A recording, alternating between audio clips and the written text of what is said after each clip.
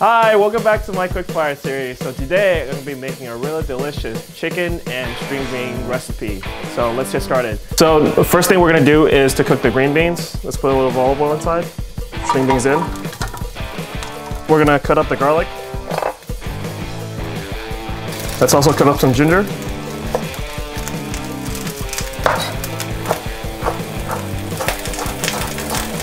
And let's also cut up an onion.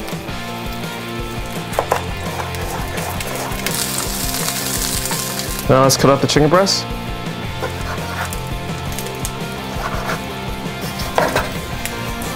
Okay, now we're gonna take the string beans out.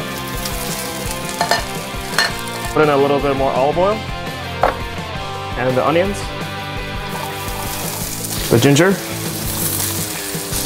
While this is cooking, we're gonna make up the sauce. It's about three tablespoons of soy sauce about a tablespoon of cornstarch and about a, a tablespoon of brown sugar. Mix it up. Try to get rid of the clumps from cornstarch.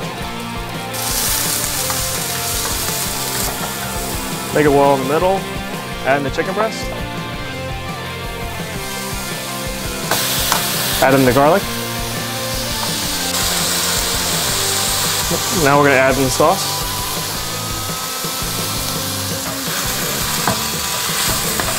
Let's add a little bit of red wine vinegar. Add the string beans back in.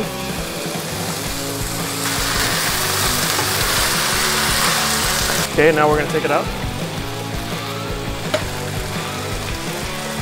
A dash of sesame